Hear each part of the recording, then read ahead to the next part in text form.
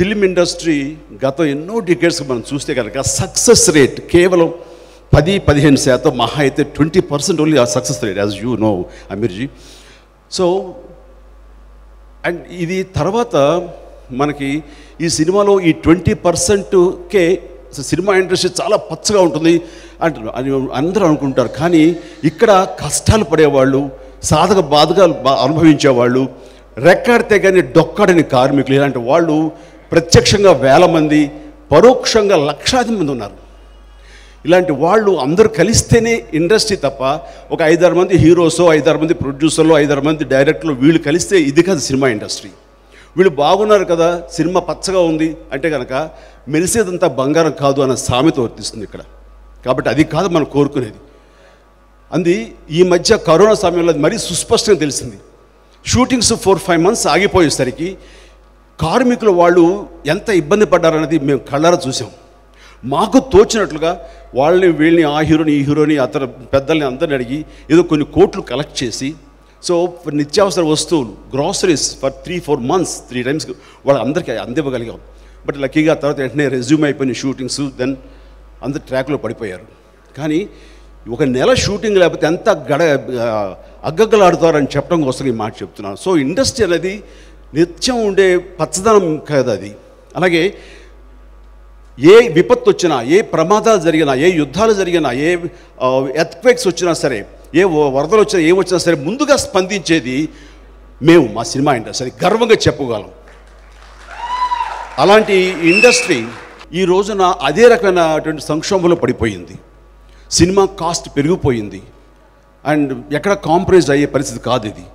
So దానికి గాను ప్రభుత్వాలని రెండు ప్రభుత్వాలని ఈ యొక్క లవ్ స్టోరీ వేదిక ముఖంగా నేను విన్న అడుగుతున్నాను. మేము ఆల్రెడీ నారాయణ దాస్ గారి నాయకత్వంలోను మిగతా అందరూ కూడాను ఇలా రామ్మోహన్ రావు గారు క్షమించాలి రామ్మోహన్ రావు గారు. ఎస్ సార్ ఆయన చిరకాల మిత్రుడు ఆయన కూడా ఇందులో పార్ట్ అవ్వటం అనేది మనస్ఫూర్తిగా అభినందిస్తాను మనందరం కలిపి ఈ ఇండస్ట్రీ ఫ్లరిష్గా ఉండాలి బాగుండాలి అని చెప్పేసి మనకున్న సాధక బాధకాలు ఉండి బడ్జెట్ పెరుగుతున్న విధంగా కాస్ట్ ఆఫ్ ఇది పెరు- పెరుగుతున్న ఈ సందర్భంలో అంత రెవెన్యూ రాకపోవడానికి ఏంటి కారణాలు అని చెప్పి మేమందరం కలిసి ప్రభుత్వాలకు విన్నవించుకోవడం జరిగింది.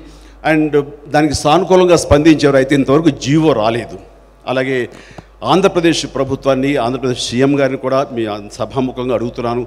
మీరు కనికరించండి మాది స్పెషల్గా తీసుకోండి. బయట అనుకున్నట్లుగా నలుగురు హీరోలు ఏదో హైయెస్ట్ రెమ్యునేషన్ తీసుకుంటారు డైరెక్టర్లు బాగా సంపాదించుకుంటారు అనేది నలుగురు ఐదుగురు మాత్రమే. వాళ్ళ కోసంగా మిగతా వాళ్ళందరూ సఫర్ అయ్యేలాగా మాత్రం ఎలాంటి నిర్ణయాలు తీసుకోవద్దు. దయచేసి సభాముఖంగా వినమ్రంగా అడుగుతున్నాను. ప్లీజ్ దయచేసి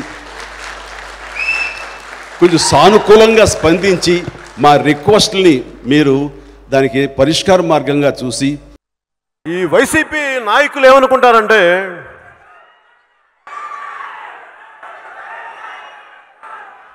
పవన్ కళ్యాణ్ సినిమా ఆపేసిన వాళ్ళ చిత్ర అతను వచ్చిన చిత్ర పరిశ్రమను ఆపేస్తే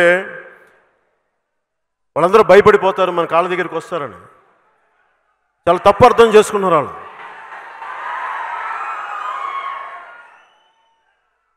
ఎందుకంటే మీ అందరికీ ఒక దృష్టికి తీసుకొస్తా ఉన్నా నాకు చాలా బాధ వేస్తుంది.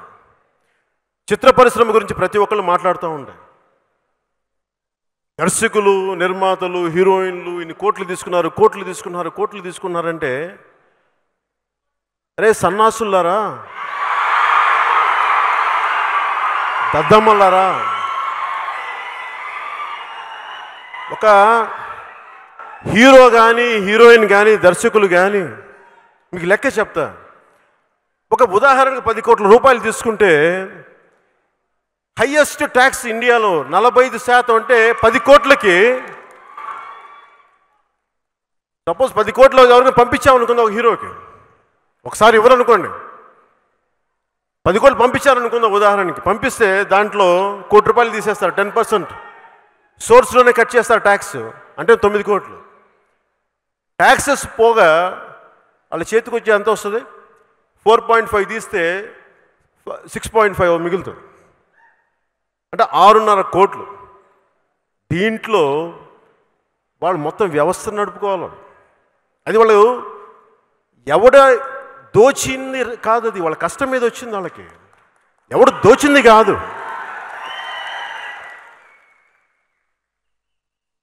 అనుకోవచ్చు ఈ రోజున నేను డబ్బులు తీసుకుంటున్నానంటే అరే బాబు మేము అడ్డగోలుగా సంపాదించలేదురా వేల కోట్లు తప్పుడు కాంట్రాక్ట్లే సంపాదించలేదురా బాబు మేము.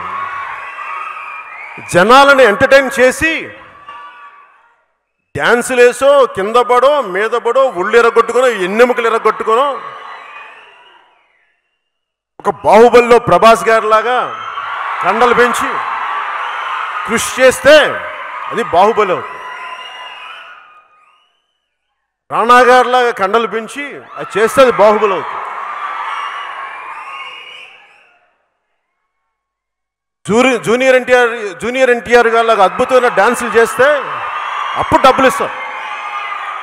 ఒక్క రోజులో ఇవ్వాల ఎవరికి? రామ్ చరణ్ లాంటి హీరో అద్భుతమైన స్వారీలు చేసి అప్పుడు ఇస్తా డబ్బులు. ఒక ఆడబిడ్డ హీరోయిన్గా రావాలి అంటే ఎక్కడి నుంచో వేరే దేశాల నుంచో ఎక్కడి నుంచో పాపం పక్క రాష్ట్రాల నుంచి వచ్చి